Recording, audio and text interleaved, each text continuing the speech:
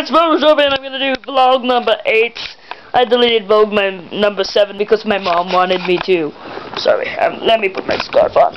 So today was um, a really rainy day. In the morning it was like so... It was like... It was like so weirdo. I had to wear a raincoat. I was dry. I was dry. As teachers are, the teachers at the cafeteria and are harsh. They want us to talk one word or they give us a red slip. Good thing I didn't get one, but um, yeah. So that's all the stuff from today. Rain